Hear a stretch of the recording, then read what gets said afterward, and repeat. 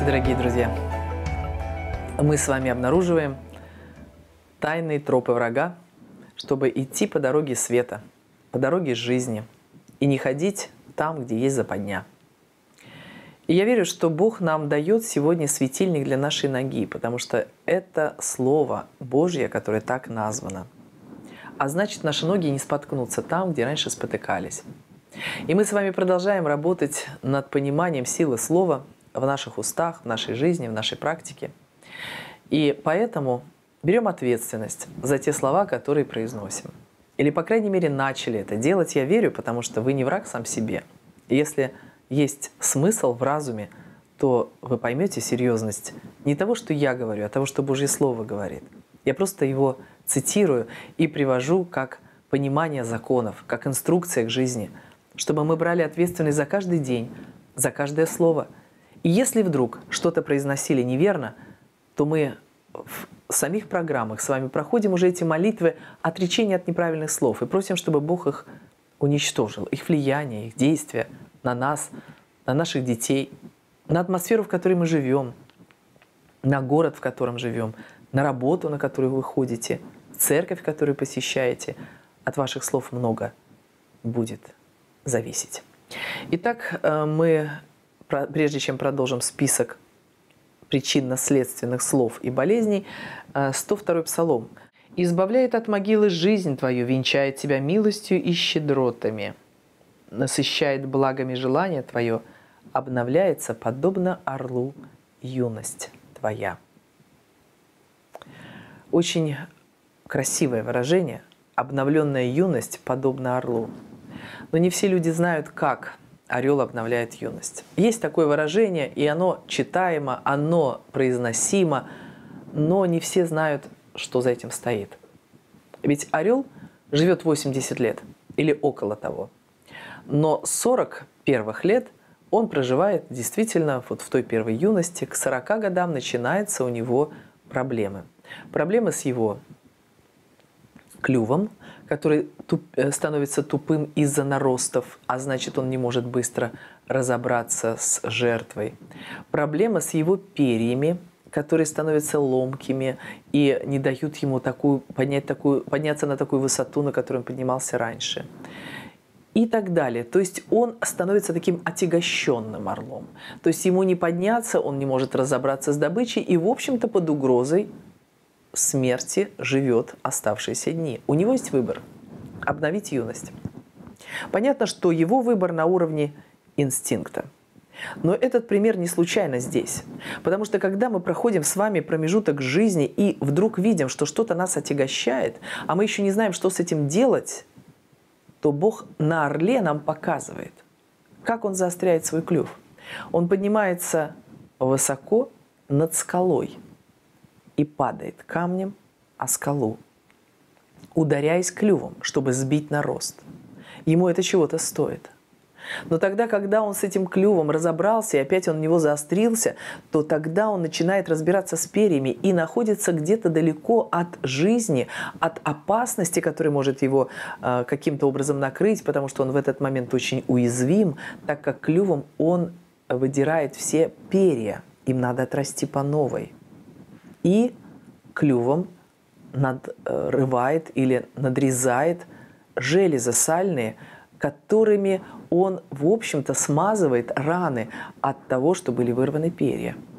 И вот этот смазанный своими сальными железами орел практически без перьев совершенно орлом не выглядит. Он сейчас как курица – но он находится у потока и пьет воду. Единственное, что он может делать, это пить воду. 40 дней происходит эта процедура, пока отрастут новые перья. И он ничего не может есть, потому что он еще не может поймать добычу. Значит, он может только пить. Но проходит 40 дней. Он через эту воду, которую пил, тоже очистил свой организм. И там произошли какие-то обновляющие процессы – и это говорит еще об одном инструменте исцеления, как пост. И мы к нему подойдем. Но сейчас я хочу сказать, что пост, друзья, это усилия, которые мы прикладываем, не голодовка, а пост. Усилия прикладываем для обновления организма, когда вода входит в нас и вымывает все шлаки, но когда организм начинает обновляться и три дня достаточно, чтобы уже определенный процесс обновления был запущен. После чего, после трехдневного поста, вы можете ощущать изменения в ваших вкусах. И вы думаете, раньше я это ел, мне нравилось, а сейчас я не могу даже смотреть в эту сторону. Что произошло? Ваш организм обновился и никакую подделку не хочет принимать. То, что вас может разрушать. А он хочет настоящего. И вот это настоящее, оно начинает быть вкусным. Это как раз признак, опять же, обновленного организма. Поэтому обновленная юность орла – это нам чего-то показывает или о чем-то говорит – и это усилие. И потом он еще живет 40 лет, но, правда, уже э, третий раз так он юность не обновляет. И у нас с вами есть такая возможность сегодня тоже обновиться в Божьих желаниях, потому что он здесь-то начинает, насыщает благами желания твое, обновляется подобно орлу юность твоя. То есть если желание пришло разобраться со словами, разобраться с причинами, которые приводят к болезни, этим самым ты принимаешь решение или помогает тебе это желание принять решение – обновиться в юности, подняться опять и летать, получить смысл и цель жизни там, там, где уже он был потерян. Интерес к жизни, может быть, был потерян. Но тогда, когда ты начинаешь подниматься над этими проблемами, что происходит? Ты начинаешь легко разбираться с теми словами, о которых мы с вами уже говорили, и поэтому продолжим сейчас еще несколько болезней мы обозначим, потому что на самом деле, друзья, мы в числе счастливых людей – кому дал Господь возможность знать суть вещей, а значит вникать и разбираться с проблемами. Итак, э, мы уже перечислили несколько заболеваний в прошлый раз, взаимосвязь со словами, с выражениями. Теперь найти отдушину, дать волю своему гневу, перекрыть кислород, кислород чихать на кого-то. Это бронхиальная астма, либо гипервентиляционный синдром, то есть тогда, когда человек может задыхаться. Если подобного рода слова или мысли которые еще, может быть, не одеты в одежды слов, но они уже есть внутри, и они тоже формируются каким-то настроением, непрощением, или ненавистью, или бессилием, или собственной обидой на себя, заниженной самооценкой. То есть все, что работает на наш внутренний мир, этому очень надо много уделять внимания, или, по крайней мере, очень серьезно к этому отнестись. Высасывать кровь, выжимать соки – это вошло в мою плоть и кровь. Это заболевание крови. Поэтому будьте аккуратны и в этих словах. Особенно для тех людей, которые принимают а, причастие, и кто это делает в церквях в системе, либо кто это дома может делать и благословлять себя и получать это благословение через призму а, уже данного инструмента, то здесь тоже есть возможность кровь Иисуса Христа, сейчас мы говорим о соке виноградном или о вине виноградном, который человек принимает, просто сказать, что этой крови достаточно, чтобы моя кровь была исцелена. Сейчас мы говорим об этом коротко, потом мы этому уделим больше времени. Просто имейте в виду заболевания крови, они нуждаются в том, чтобы кровь Иисуса туда проникала. Поэтому не, не просто подходите к причастию, а принимайте и говорите об этом. И, кстати, молитва, которую можете произнести, она простая. Можете сказать так, Господь, я благодарю Тебя за кровь Иисуса Христа, что ДНК Иисуса Христа сильная и мощная, чтобы разрушить всякую аномалию на уровне моего ДНК. И я благодарю Тебя, что Твое ДНК включает мое исцеленное и преображенное, чтобы мне исполнить свою программу жизни до конца. И можете говорить своей крови, будь исцелена, будь восстановлена, потому что кровь Христа пришла к тебе. Обращайтесь к себе, к организму, через то, что ваш дух, он главенствующая часть. Душа, она на службе у духа, и тело получает тогда благословение от духа и души, потому что мы душой мыслим и произносим слова, а тело получает эти энергии жизни. Вы знаете, удивительно, о чем сказал когда-то Иаков, что язык, он в таком положении находится, что оскверняет все тело. Поэтому если язык у нас начинает что-то произносить, как осквернение на все тело, так и благословение на все тело. Поэтому давайте будем принимать благословение от своего языка, который в таком положении находится. Принимать близко к сердцу. Сердце разрывается, удар в самое сердце. Там человек говорит о своих отношениях к какому-то известию, допустим. Это инфаркт миокарда. Человек совершенно не предполагает, что он может с такими словами вызывать проблемы сердца. Поэтому будьте аккуратны и с этим. Благодарите свое сердце за то, что оно трудится на вас.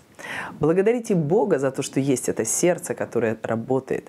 И на самом деле удивительный диалог можно вести с собственным сердцем, потому что там эпицентр жизни.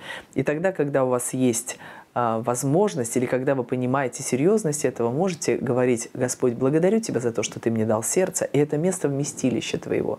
Сердце и Тебя благодарю, что Ты трудишься вместе со мной все эти годы. И удивительное слово, которое можете говорить, я дивно устроен, и мое сердце, оно работает в, Бож... в Божьем заданном ритме. Столько лет, столько мгновений, сколько ему отпущено. Благословляем себя, друзья, и этим мы восстанавливаемся. Он и не чешется, не хотел бы оказаться в его шкуре, легко ранимой, тонкокожей. Это заболевание кожи и аллергия.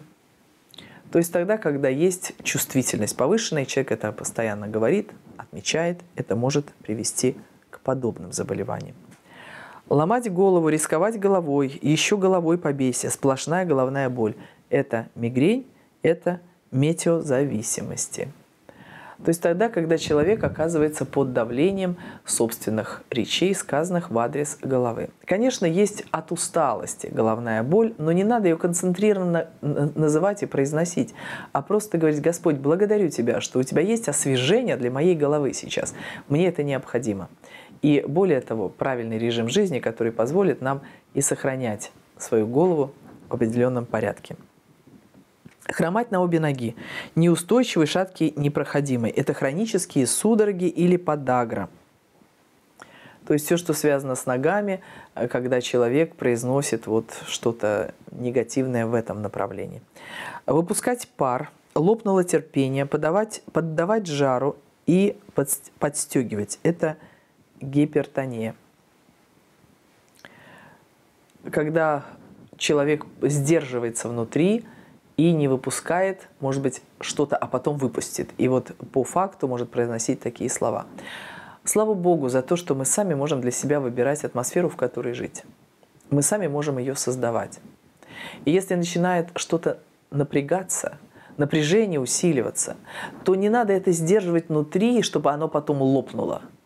А действительно важно с этим разбираться как с явлением, что я могу продолжать жить в мире – да, это опять усилие с одной стороны, потому что мир надо хранить, мир, который превыше ума, важно его созидать, брать ответственность за какие-то ситуации, просить прощения, но Господь имеет в виду нам помогать во всем этом, друзья.